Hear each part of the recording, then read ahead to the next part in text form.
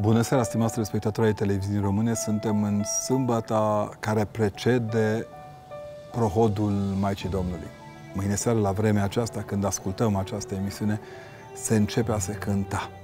Astăzi, în schimb, am prăznit Odovania praznicului schimbării la fața Mântuitorului, țineți minte, petrecută în 6 august, mutoarea moaștelor Sfântului Cuvios Maxim Mărturisitorul, cel care și-a pierdut limba și mâna dreaptă mărturisind adevărul în Hristos, și pomeni pe Sfinții Cuvioși Dorotei și Dositei din Gaza, doi mari scriitori pe tema rugăciunii inimii și a vieții evlavioase, duhovnicești.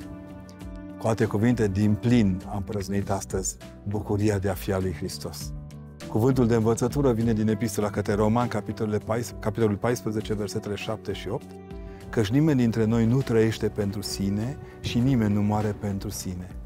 Că dacă trăim, pentru Domnul trăim și dacă murim, pentru Domnul murim, deci dacă trăim și dacă murim, ai Domnului suntem.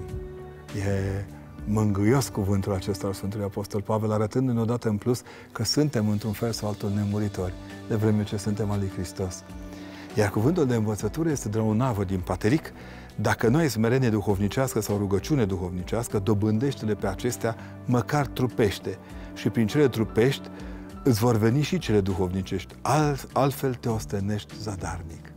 Cu alte cuvinte, trageți un pic mai mult de voi atunci când vreți să vă apropiați de Dumnezeu. Nu, nu e suficient să stingeți țigara sau să nu băgați lapte în cafea. E important un pic mai mult, un pic mai atent, un pic mai de dragul lui Hristos. Pentru că nu e așa și de trăim și de murim mai Domnului suntem, dar e de preferat să trăim ca fiind al lui Dumnezeu, pentru ca după moarte să rămânem mai lui.